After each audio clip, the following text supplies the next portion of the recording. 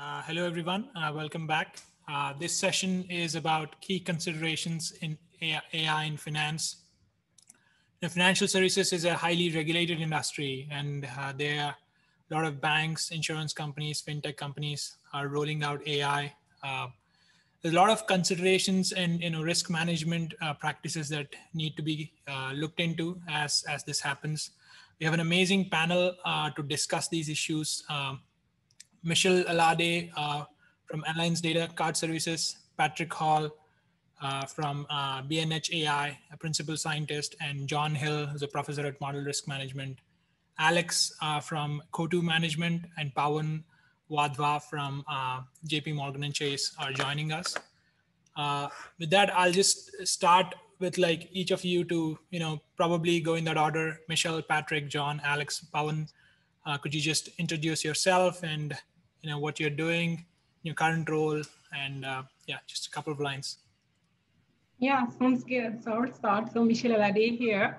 Um, I'm an enterprise risk professional with a specific focus right now in model risk management. I currently serve as the bank model risk officer at Alliance Data Card Services. And in that particular function, my role is to manage the risk inherent to the use of models including AI applications. Great. Patrick? Sure. Hi, I'm Patrick Hall. I'm um, principal scientist at a small law firm in Washington, D.C. Uh, that, that, focuses on uh, AI and, and, data analytics risk. Um, I'm also a visiting professor at the George Washington University Business School and uh, spend a lot of time over at h2o.ai, which is right down the road and um, helping them build out some of their, their early responsible AI functionality. And I, I still try to help them when I can. Alex?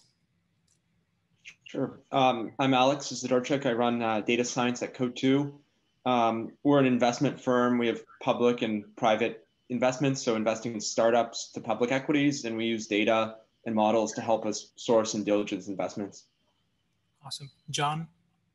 Uh, Jon Hill here. Um, I've been working in various aspects of model risk management for nearly 20 years, first at Citigroup, then at Morgan Stanley, where I ran a validation team, and then at Credit Suisse, where I was in charge of uh, model risk governance, global model risk governance, and since uh, I have moved uh, to academics, uh, so I'm now a professor at NYU Tandon School of Risk Engineering, and I'm happy to say that I presented this last winter what I believe to be the first graduate level course in model risk management offered at any university that I, that I know of.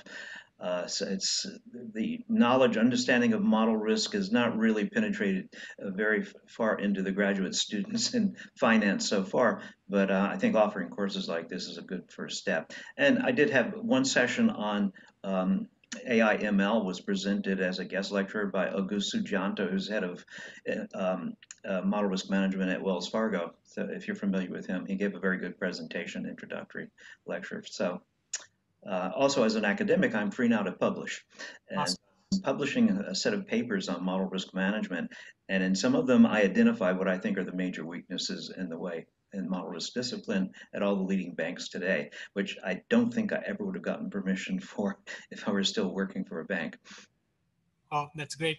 Uh, finally, uh, Pavan, uh, you know, uh, could you do your intro? Uh, thanks, Krishna. So my name is Pavan Wadhwa, and uh, I'm a part of the model risk management team at uh, JP Morgan. I've been with JP Morgan about 20 years. Uh, the first 15 years was spent on the on the front office side, uh, mostly in uh, rates research, and then the last five years I've been on the on the model risk side. I run a center of excellence in machine learning within the model review function. Awesome. This is great. Uh, we'll start with Michelle. Uh, Michelle, could you just give a two minute overview of model risk management? Uh, a lot of data scientists are entering this industry the first time. Uh, I discovered this concept, you know, myself two years ago. Uh, it would be great to just, you know, get an overview of what this topic is about. Yeah, sure. So as you can tell from the name, model risk management is a risk function, which main focus is to manage the risk inherent with the use of models. Um, as you know, models are used for decision making. So it's critical that those models can be trusted. And um, the issues that come from um, uh, poor use of the model so um, are pretty important. So we need to mitigate the risk which, which come from the fact that um, the model can be designed poorly during model development. And uh, because of that, the output of those models lead to um, inaccurate decision making. Uh, the second piece of the, of, of the equation is that models are just misused, mainly due to lack of, of understanding of the uh, assumptions that come into building the model or just the limitation of use of that particular model. And um, the function, the model risk management function came from the banking industry and slowly got adopted in the insurance industry. But with the use of the proliferation of AI and machine learning models across pretty much all different sectors, we can now see positions such as AI risk manager. And for my part, I think it's, it's the right move because anywhere models are being used, there's definitely a need to have a model risk management function. Awesome, that's a great overview. Uh, coming to Alex, you know, uh, you're in a slightly different uh, field at Coatue. Uh, how do you think about implementing AI and ML at Coatue? You know, where, where has it come to play? How did you make that decision? Could you just like go into that? Sure, yes. And I, and I think it makes sense to first give an overview of our business a little bit, right? So we're in the investment management industry. At the end of the day, um, our business is picking companies, whether they're private, early stage startups, or sort of late stage public companies um, to invest in.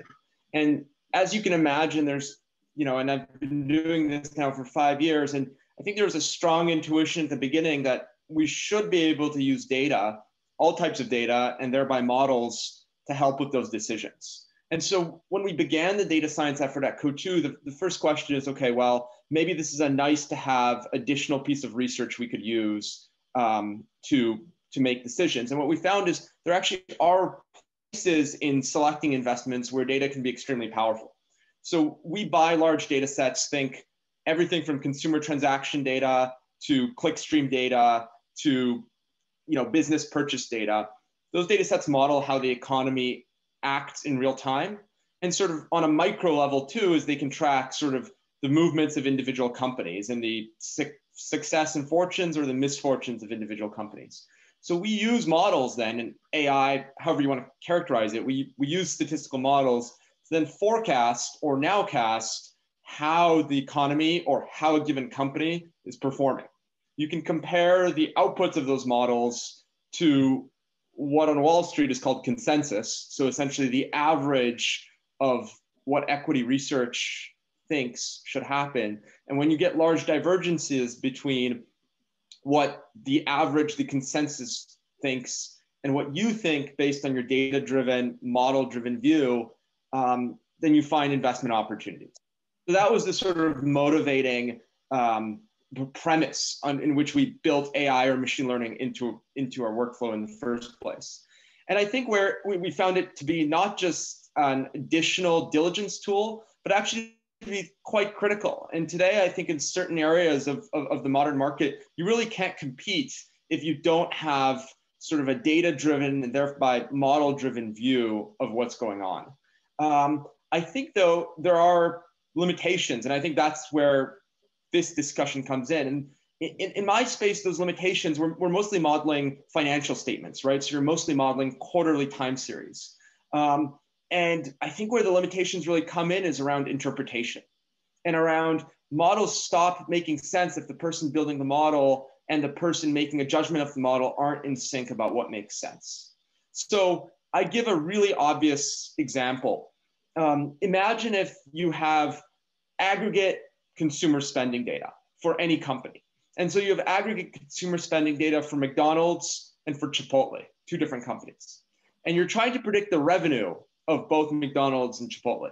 You might think, oh, very easy. Let me aggregate my data by quarter because companies report on quarterly schedules. And then let me just compare it to the reporting numbers, look at the quarter, quarter to date number, and that's my prediction for the revenue of Chipotle and McDonald's.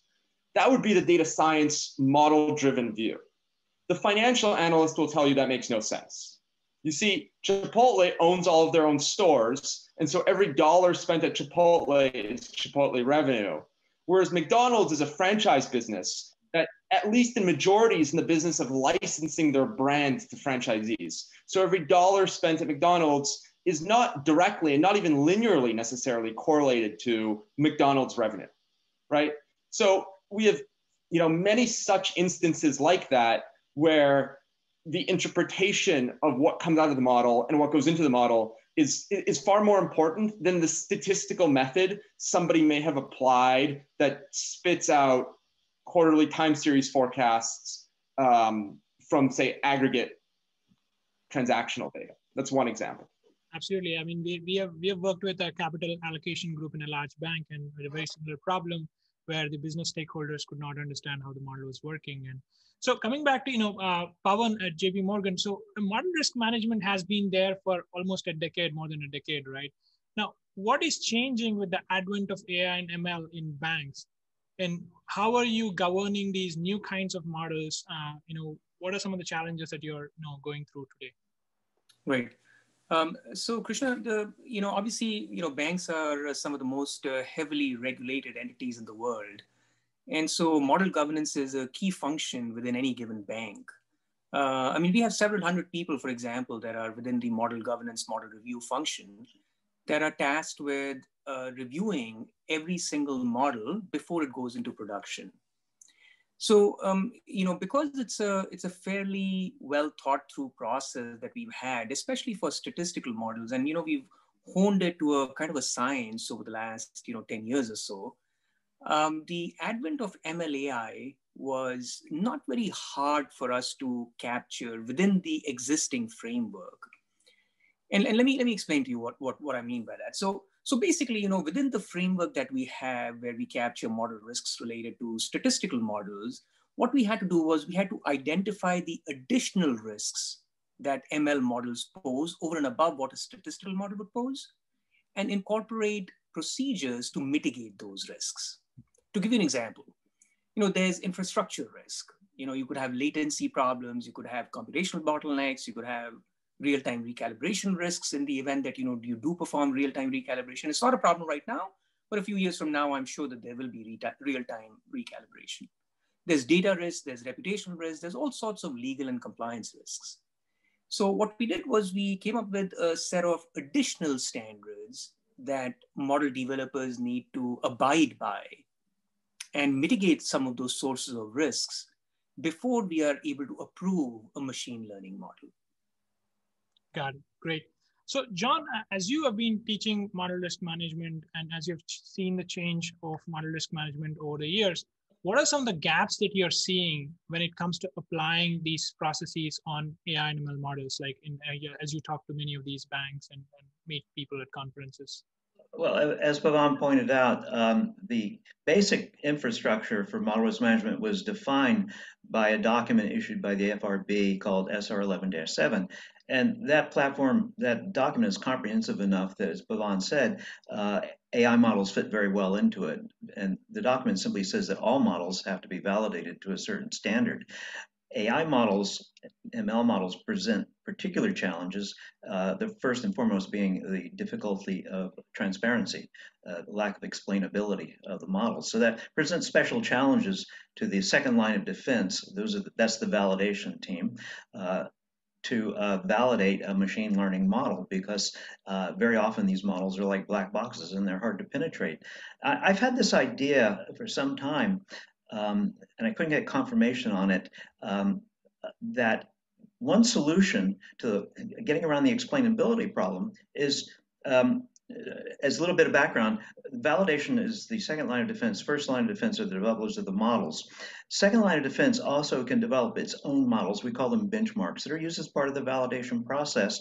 And here's the key point those models are not subject to validation uh, at the same standard because obviously a validation team can't validate its own benchmark models. So I thought, well, why not use develop ML benchmarks and use those to validate the ML champion model? Use a ML champion a challenger to validate an ML champion. And I thought it was just a, a kind of a comical thought because uh, obvious issues with possible collusion between machine learning models and a lack of credibility. But uh, I was in a, a, Nordics Risk Conference uh, just the past two days, and I presented this at a chat table. And the fellow who's head of uh, AI validation at Nordea says we've been doing that for the last two years.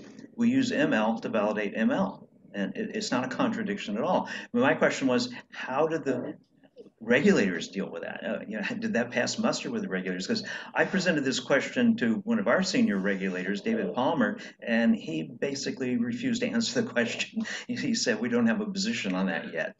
Um, but what he said was that the European regulators, Nordea is a Finnish bank, but they're all over Northern Europe. He said that the regulators have basically taken an arm's distance approach. that they're not telling them not to do it, but they haven't presented a final opinion on it either. So he said they're going to continue uh, showing the way. He mentioned a few other European banks that are doing this. I don't know if any American banks are doing it. Uh, perhaps Pavan could like to that. I'm pretty sure uh, none of the banks I worked at, which was Morgan Stanley, Credit Suisse, and Citigroup, got even close to doing that, to using ML to validate ML. That's a great. That's a great segue into, uh, I guess you know, Patrick, who's like a subject matter expert on explainable AI. So Patrick, where does like explainable AI and responsible AI can be like can come to help here? You know, to yeah, help, yeah, you know, financial institutions. I'll, uh, you know, I'll, I'll try to be helpful here. Uh, first, I want to I want to jump in as a cheerleader for benchmark models. I, I, I don't think that that is a I think it's a really good idea. Now, of course, I'm not a regulator, so uh, I'm not sure how much my opinion matters. But but I've done some writing on the subject of benchmark models and and some use them in practice and, and think they're helpful. Also, you know, I want to jump in and say that you know personally, I think that that transparency is the is the fundamental risk control um, with transparency and, and you can control risk without transparency and people have done that in the past and, and perhaps for decades. But i think you know the fuller the transparency the fuller the debugability and the fuller the uh, potential governance. So so i think that the transparency is sort of the the baseline requirement and if we have that we can we can build off that in smart ways. Um, in terms of, of, of this sort of broader topic of responsible AI, which includes transparency and um, considerations for uh, discrimination testing and remediation and considerations for data privacy and security, I, I think that you know it, it's a double-edged sword and that it's hard to do all these things inside banks because banks are are large, complex organizations with many, many, many business processes that are also highly regulated and, and have a high degree of, of public scrutiny upon them. So, so I think I think that, that it's always difficult to do machine learning under those kinds of uh, constraints. And but but I you know I think the the silver lining is that that banks you know even beyond big tech are are are probably the best suited culturally to, to do responsible AI, right? They, they understand that they work within constraints of regulation and, and constraints of model validation and constraints of model audit. And so, you know, that I think that the culturally it's a good fit. Um, of course, you know, things can always slip through the cracks and, and, um, I'll, I'll, I'll leave it at that and, and let other panelists chime in. I don't, I don't want to dominate the conversation here, but, but basically I think banks are good good at responsible AI, but but it's still a challenge. Absolutely. So, like Michelle, uh, you know, let's say when uh, you know uh, Alliance is trying to deploy mach- machine learning models, what are some of the key risks that you are taking to picture? You know, making sure that you're safely deploying models and they're maintainable over time. Yeah, sure. So, to piggyback on some of the points, uh, in order for a model to be approved for deployment, the model needs to be trusted, right? So the model risk management group needs to come in with the stamps stating that they, they've done the due diligence and they believe that the model is fit for purpose.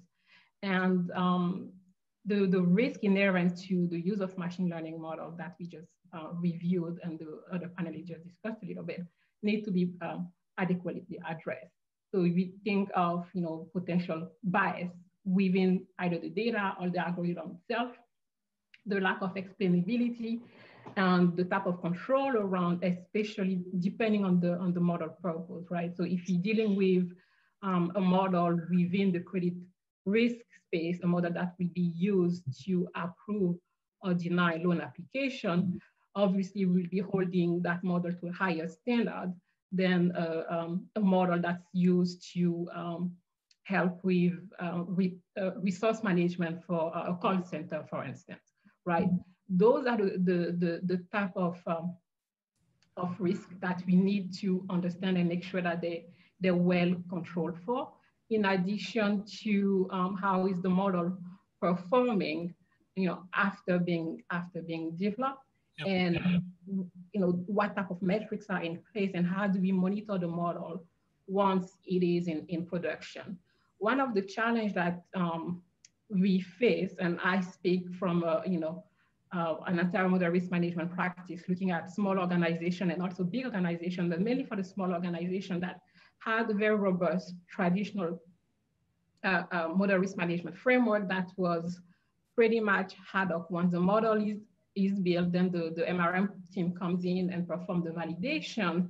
The challenge that we're facing now with those um, AI and machine learning models that uh, that needs to be deployed really quickly is that we need to come up with an agile process where um, developer and validator come uh, work together in addition to all of the risk uh, control functions that are relevant to the equation, thinking of the compliance teams, the, the um, data and privacy team, uh, making sure that all of the key risks across the model development cycle are addressed while the model is being built and all of the controls are also implemented before the model actually move into production.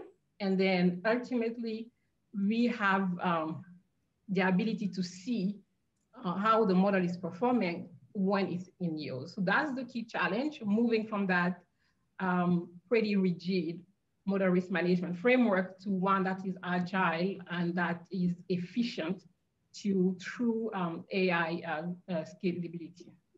Got it. Got it.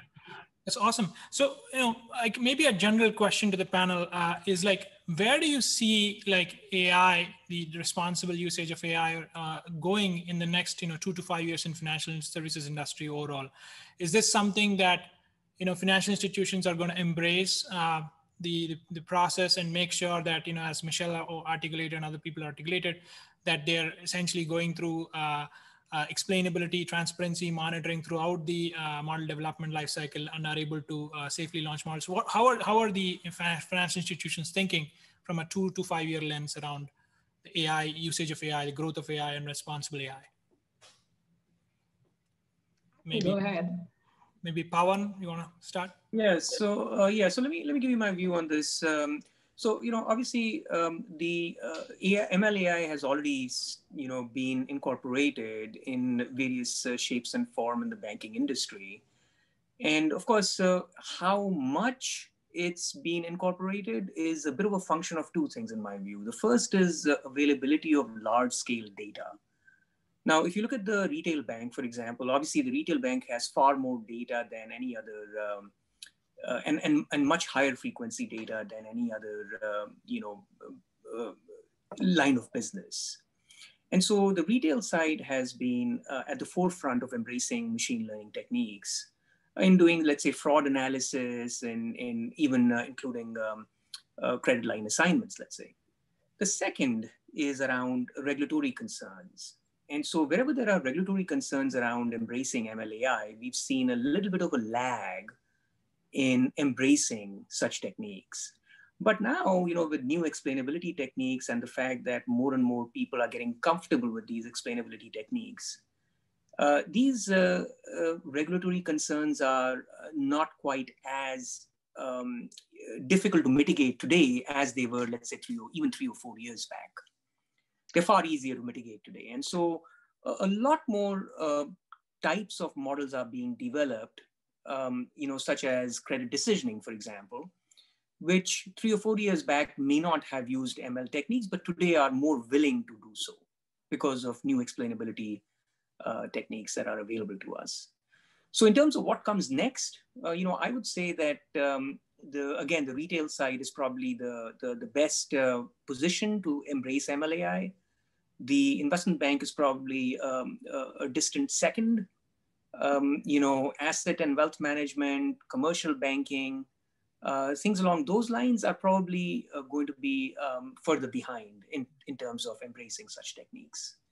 And of course, this other thing is real-time recalibration. I think um, you know over the next two to five years, um, real-time recalibration is probably going to become much more prevalent than it is today. Uh, right now, almost no one uses real-time recalibration.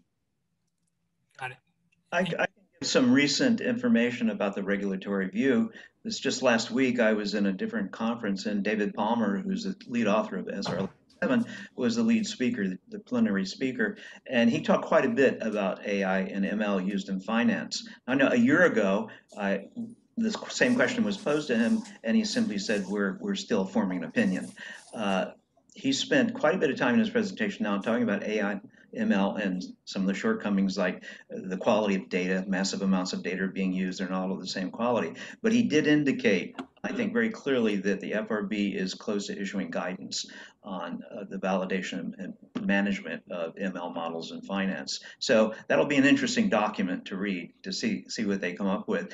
Definitely, he's not against it. A second factor that's really going to promote AI and ML over this horizon talking about is continual pressure that we see at every firm to get more done with less, do more with less work. I mean, unfortunately, these um, lines of defense functions like validation uh, tend to get uh, cut very first.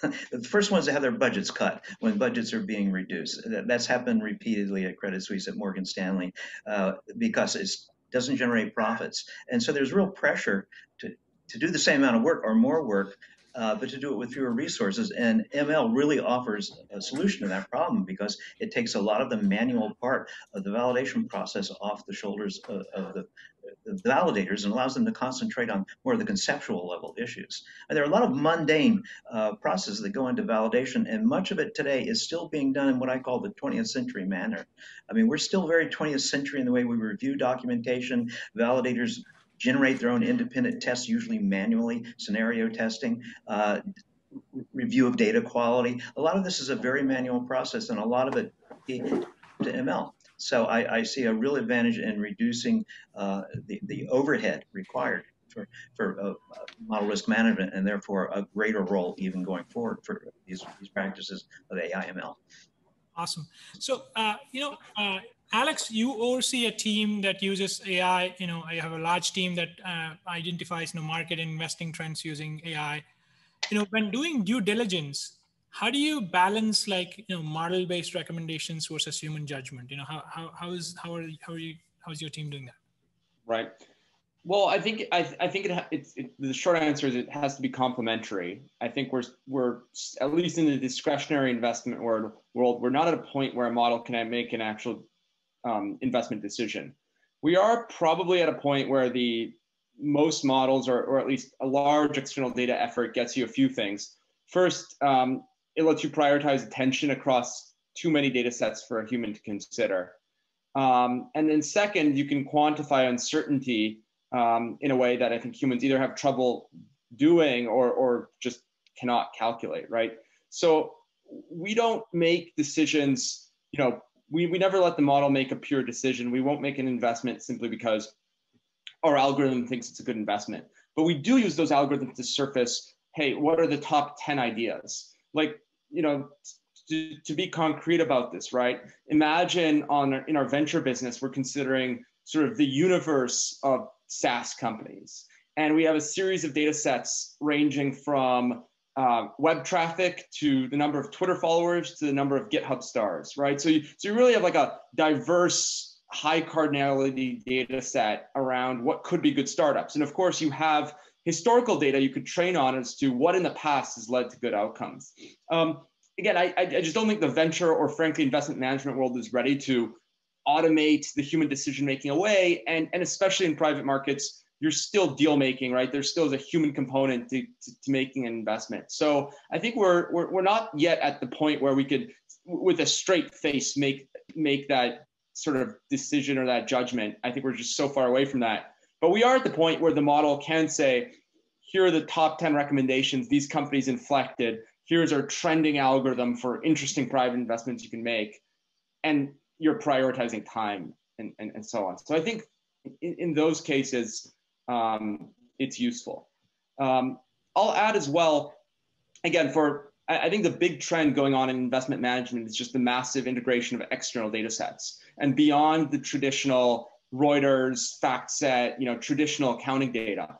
As I mentioned, everybody's using these high cardinality data sets, these alternative data sets that are sort of unique and different. And I think the other big thing AI or ML gets you in those data sets is uh, attention prioritization.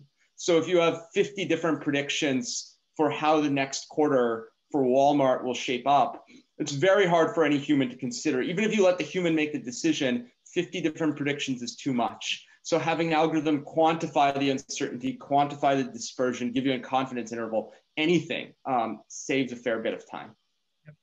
Awesome. So while we talk about you know the future of AI, you know applications in retail banking, potentially investment banking, and automating model validation, all is not so well with AI, right? I mean, we have you know we've seen uh, you know uh, bias issues uh, you know in the last few months. You know, like we all heard about the Apple credit card uh, bias issues, United Healthcare bias issues. You know, algorithmic discrimination is a big topic. Uh, you know, Patrick, you know how you how do you think about you know algorithmic discrimination and and how, how do you see like for example uh, ways to address this in, in, in financial institutions and, and, what is the importance of that? Sure. Um, so first off you know algorithmic discrimination is is a, a really serious problem and, and a really difficult to fix problem Okay, it's not it's not just going to be fixed by tech tools and technology. It's a, it's a complex socio-technical problem.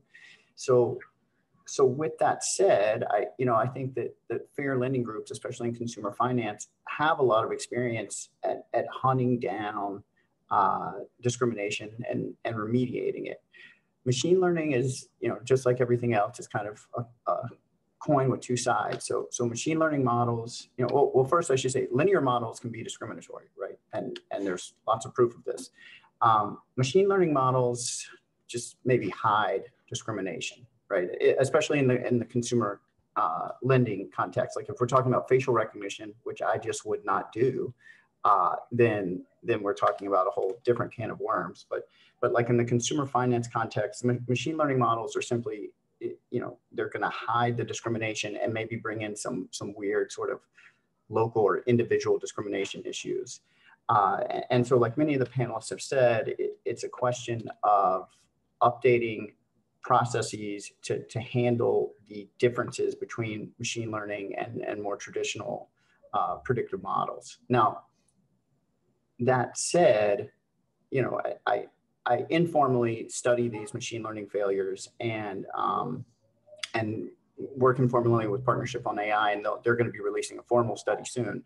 But but you know, algorithmic discrimination is just one of many kinds of failures that can affect machine learning systems. And and I'll go ahead and throw out data privacy as as sort of the second most common one that that we see at bnh.ai, and um, it, it's just quite simply people do not consider that data about people is a highly regulated quantity, even in the United States, and perhaps worse in the United States because it's regulated state by state. Um, and, and so people just uh, seem to think like if they're putting data into a machine learning system, then privacy laws don't apply. But of course, that's that's not the case. And, and so, you know, algorithmic discrimination, horrible problem. Uh, machine learning can er, exacerbate it, can present some solutions, but just one of many types of, of machine learning failures that banks and other companies need to be aware of. So happy to elaborate on that if there's time, but, but we'll, we'll kind of shut up now. So, so maybe like, I mean, Michelle, like from a model risk management perspective, where does bias come into picture? You know, how are you thinking about it? How, how are you thinking about figuring out ways to detect it, mitigate it, and, and, and, and like not get into troubled waters? Uh, you're on mute, Michelle. Well, that was bound to happen, but perfect. So yeah, it's bias is a critical uh, piece of the puzzle when it comes to managing model risk in general. And as we, we rightly mentioned, um, model uh, machine learning models in particular uh, just expand the risk of bias. So the approach that I use, um, regardless of the type of risk that I'm dealing with, is understanding, first of all, what do I know about the model that I'm dealing with? What is unclear? And what are the controls around uh, that um, complexity, that uh, the piece that is unclear. And that helps shape the, the framework or process or procedure that needs to be leveraged to mitigate the risk. So if you think of models as being black box, right? You have what's coming into the model, you have what's coming outside of the model, and then you have that black box that you can poke into from an explainability perspective to get a sense of how, what's going on in the model. and when we talk about um, algorithm bias and data bias and all of that, we need to make sure that the process that we have in place looks at the input or the data coming into the model, but also look at the output of the model, making sure, because that's exactly where you could tell whether or not bias happened. And from a model risk management perspective, um, we are making sure that we bring the team of experts that have that knowledge. So it has to be uh, a cross-functional governance process that include the, the statistical expert, the AI machine learning expert, but also the compliance team from fair lending perspective, but then also bringing to the, the privacy team uh, to look into potential fairness issues as well in the, in the data. And ultimately, the one piece that I haven't heard so far, which I think is important, is also bring IT risk from a control perspective um, because ultimately um, there is um, additional adversarial attack risk that can come into with the use of AI and machine learning models. So I, uh, my take on it from an MRM perspective is just making sure that whatever process or procedure that we put together, uh, regardless of the risk that we're trying to, to mitigate, bring together a cross-functional view and that's the only way we'll make sure that uh, models risk or AI risk are rightly uh, mitigated or managed. Yeah, yeah. So, Jon, I think one of the things that we are noticing in the market is uh, banks are instituting these AI governance teams in, in addition to these model risk management teams as they get more and more of these uh, machine learning models being developed by the first line of defense. How do you propose like you know if a bank is thinking about institutionalizing that model governance practice for ai models you know what are some of the differences between the standard validation process and the new process? And how should they think about this and embed this in their ai life cycle and who needs to be involved what capabilities uh, such a system should have can you elaborate on that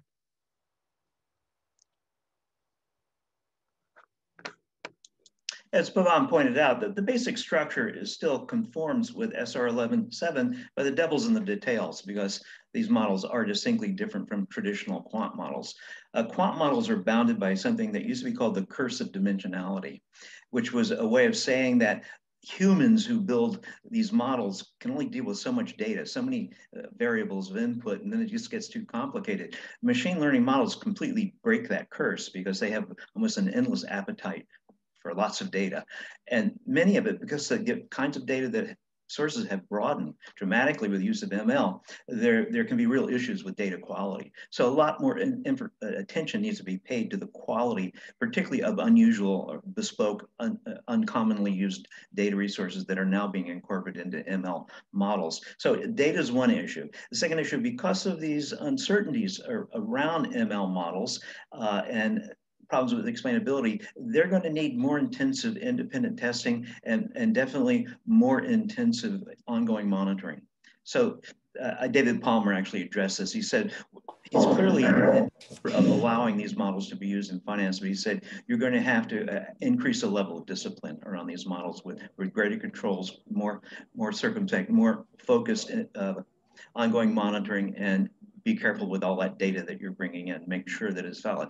But the basic process for validating a model is, is, has remained unchanged. You still have to perform conceptual soundness. You, you have to say, is this the best right model to use for this application? Um, as, as an aside, something I teach uh, all the time.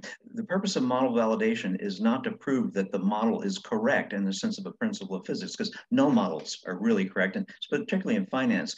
The what validation does is decide is this model uh, adequate for its intended purpose. Not even the best model. Is it sufficient for purpose?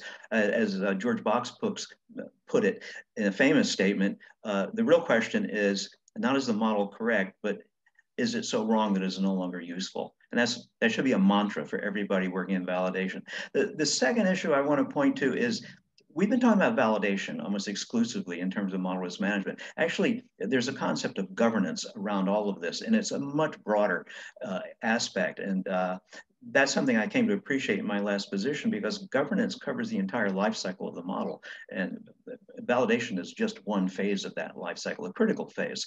But governance also includes inventory. Governance, and this is all part of model risk, includes inventory, includes uh, interdependencies between models and data. And you would think, take inventory, you'd think that would be pretty straightforward. You just collect all your models, put them in inventory. Well, the devil is in the details. And until you go through this process, you don't realize I doubt that there's any bank that actually knows how many models they have that are actually being used. Because, and there are many reasons for that. One of the reasons being which people who develop models under the radar don't want to declare them because they have to go through all this validation. So a lot of EU, what are called EUC models, end user control models on spreadsheets fall into this category. So inventory is a real challenge actually. And one of the questions I ask in my paper is, can any bank answer this question? Pick a model at random, or not, sorry, don't pick a model, but tell me, I'm a bank examiner, tell me if you have any models in your inventory that were not executed over the last year. Yep. And when I was in that position, my answer would be, well, if it wasn't executed, why should I care? And a banker exam say, well, you should care because maybe it should have been executed. Yep. But if you can tell me, you give me a list of all the models you have in your inventory that didn't get executed over a year, then I know you've got a higher level of model discipline than most banks, most other firms. So there are a lot of issues outside of validation because models do not uh, perform standalone mostly within a firm. They, they operate within a model ecosystem. And ecosystem is a critical word here, and that covers the whole gamut of interrelations between models. The other issue, as I said, is model interdependence. Uh, that's also a very patchy area because it relies mostly on attestation by model owners. And you find out very quickly model owners don't know who all their users are. So they can't tell you what all the downstream dependencies are. And that's another conundrum really so when when yeah exactly patrick when when you when a bank discovers these models that they shouldn't be running in production and get into this incident response mode how do they hand how should they handle it you know, maybe so so yeah just just really quickly I, I there's a gap in my opinion and i'd love to hear if the other panelists agree but we probably don't have time incident response is not addressed in SR 11.7. I mean, if on a close reading, it says have contingency plans, but then it moves on to the next paragraph. And so we prepare for planes to crash. We prepare for other computer systems to fail. We need to be preparing for machine learning and AI systems to fail because they can fail in complex and unpredictable ways. So, so just really quickly, I want to, to plug this idea that I think is a gap in sort of the current regulation, which is explicit plans for, for incident response.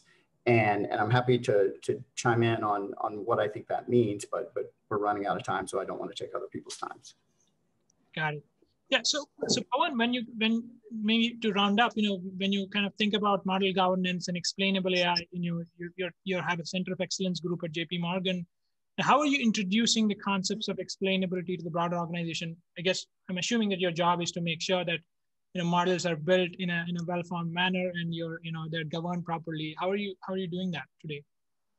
So, you know, obviously there's been a lot of stakeholder interest in explainability over the last, you know, year or so, especially uh, given the adoption of these MLAI models, you know, whether it's a regulatory concern, you know, as is with credit decisioning models, for example, or if it's a, um, a client concern as it would be with order placement models or algorithmic trading models, there's a lot of interest. And so, you know, what we've done is we've uh, established an XAI Center of Excellence that basically does uh, three things. The first is, you know, pure research into methodologies uh, around explainability. The second is to advise uh, developers on what are the best methodologies to use in their models. And the third is to upscale effectively, make sure that every one of these guys that are developing models are, um, you know, uh, getting the right set of skills that are required for explainability techniques. And, uh, and so that's on the model development side. On the control side, which I'm a, a part of, um, you know, we have, um, you know, we have researchers who are actually working on the applied side of explainability. So for example, you know, we publish research around questions such as, um, if we generate a reason code using a machine learning model, such as a tree model, tree-based model, um, is the reason code more trustworthy than the reason code that you would get from a statistical model? Hmm. Uh, does the nonlinearity of machine learning models pose a challenge for reason code generation? those are the kind of you know broadly speaking questions that we answer in the research that we publish obviously this is all internal research yep. um, but uh, but that's the second way that we are dealing with this uh, this problem awesome so we are on on on dot now uh, thank you so much for all the panelists for joining this was an illuminating discussion for me uh, i've learned a ton uh, and uh, we are also going to share some of the resources. Jon has a, an amazing paper on some of the challenges that today's model risk managers face we're going to put this on the Zoom channel for people to you know download and read. And uh, and I finally want to thank all our panelists for spending their time today and discussing this very important topic. Thank you so much. Thank you.